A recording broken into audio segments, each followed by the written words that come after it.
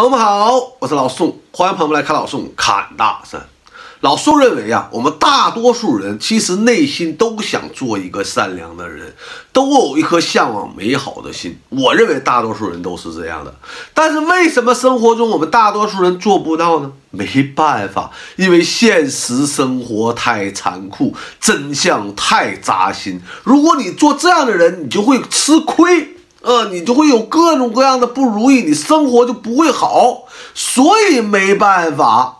这个社会就像一个大眼缸一样，我们进去了之后，在里面摸摸爬滚打一番之后，就变了颜色。虽然我们大多数人可能不愿意承认这点，但是事实就是这样，真相就是这么残酷。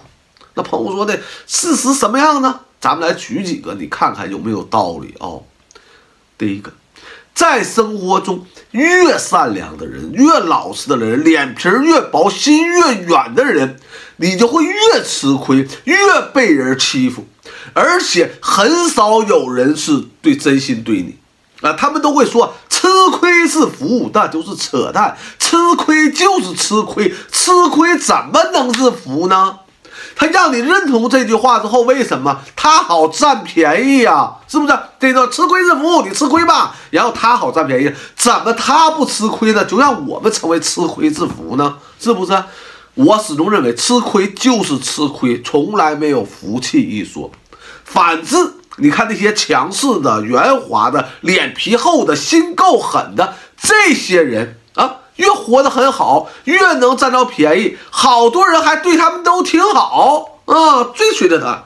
不信你看啊，如果这两个人，一个是那种善良、老实、脸皮薄、心软的人，一个是那种强势、圆滑、脸皮厚、心够狠的人，他俩如果起了冲突，你看大多数人都会向着那个强势、强势、圆滑的人啊，怎么怎么样，他说的不对，你说的不对，结果指责老实人。现实生活中就是这样，按理说道理来说不应该这样。但是现实生活中，他就是这样。哎呀，趋害避利，人人都会这样嘛？啊，趋利避害啊，人人都会这样嘛？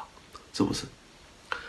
第二个，在这个社会上，你承认也好，不承认也罢，钱就是最重要的一个东西啊。有了钱，你可以解决这个世界上百分之九十九点九的难题，可能只有那么一点点不是用钱解决的，是不是？啊，有人说了，我解决不了这个，那只能说明你钱不够多。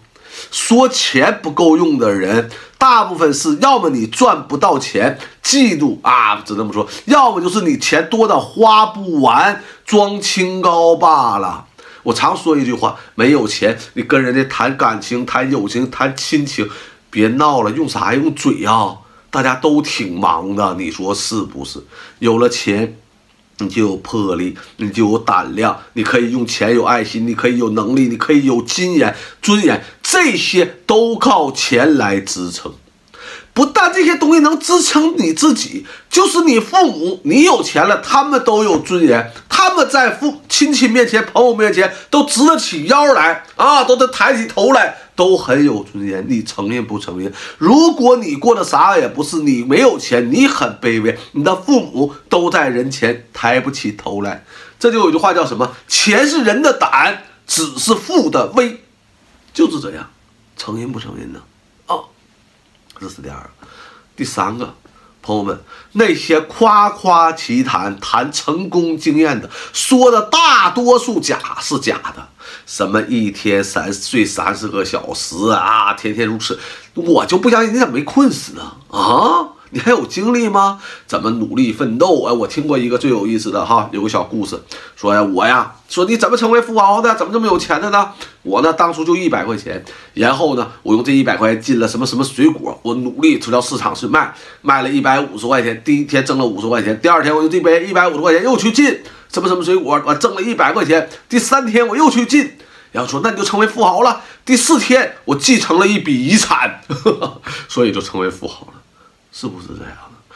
他们只是说了自己的一些奋斗史或者一些什么，但是真正如何赚到钱的，如何成为富豪的，他们都不会告诉你，可能也不敢告诉你。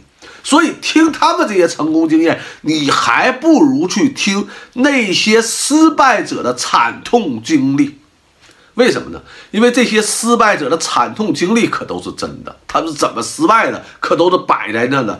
最起码你听了之后，对自己是有用的，你可以知道这些坑是真实的，以后在生活中，在那么你可以避免这些坑，对这些坑可以加以小心，你少掉一个坑，你就是成功了。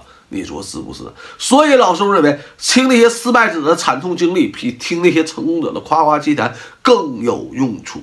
你承认不承认呢？啊，这是第三个，第四个，我们人呢，如果你想走下坡路，你想自甘堕落，他那你放心啊，你快得很。为什么快得很呢？没人拦你，也没人拉你，你可以一路向下，没人阻拦着你。哎，别往下，别往下啊！没人这样，你可以一路向下啊。最多人喊一声，别往下走了啊！你继续往下走。他说，你看。我劝他了，他也没听着啊，他也不听啊，我也拉不住他呀。哎呀，没办法呀，是不是？没人拦你。但是反过来，你要想走上坡路，你要想出人头地，那就不一样了。那真是一步一个坎儿啊。因为什么？你前面的人谁都拦着你，凭什么你过呀？排队，你不许过。哎，拦住，拦住啊！和你一起的一样的人呢，伸个腿绊子绊倒你，嗯，还跑还跑得挺快，我绊倒你，一步一个坎儿。你身后的人呢，扯着你大腿，还跑还跑，给我往回来，哎，谁都不让你快呀。所以出人头地不容易，成功才这么不容易，往下走才那么容易。所以你要明白，为什么你往下走容易，就是因为大家都鼓掌欢迎，没人拦着你。当你往上走了，大家瞅着你都犯相，都想拦着你。所以，朋友们，你要想出人头地，告诉你就是很难，所有人都会拦着你。你说老宋说的有没有道理呢？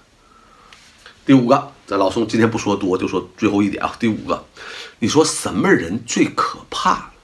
有的人说小人、恶人、坏人、杀人犯。啊，都挺可怕，是不是？嗯，这些人都挺可怕，但是呢，这些人呢，我们还我觉得还不是最可怕的。我们最不行，我们可以离他远一点，是不是？有一种人最可怕，就是什么？极度理智的人。这种人，你要和他接触，你发现他是特别特别理智，任何事情他都能给你分析的头头是道啊，怎么走？最有利益，怎么做这件事最最优于你的选择？哎呀，那分析出来，那选择非常明确，非常准。有些人说了，这不是好事儿吗？啊，这这给你分析的这么准确，这不才是好人吗？这人为什么还是最可怕的人呢？啊，我打个比方啊，前两天看新居，就是那个姐姐给她弟弟分析的头头是道。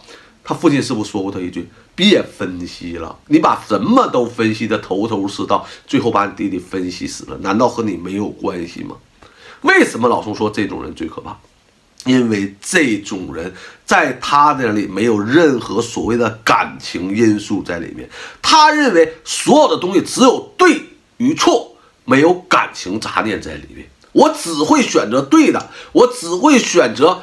就优于我的路，最后会选择对我利益最大的这条方法去做，哪怕你是他很重要的人，很重要的东西，在这个时候他觉得这是正确选，他会义无反顾的放弃你，断然的放弃你，就是这样的。